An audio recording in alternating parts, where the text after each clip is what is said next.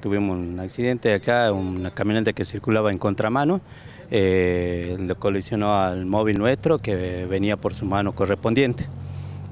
Eh, a raíz de eso su, sufrieron solo daños materiales, tanto de la camioneta como el móvil nuestro, y este, lo, la, las personas que estaban, se transportaban están en perfecto estado.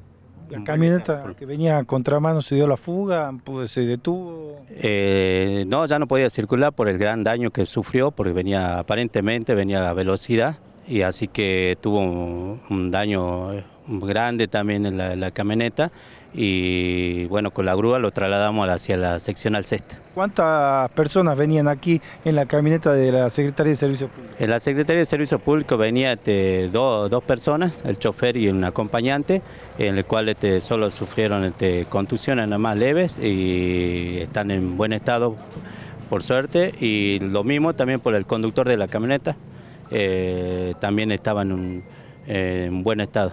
Una situación grave, ¿no? Porque en un lugar tan transitado que vengan contramano, el peligro que esto representa para todos.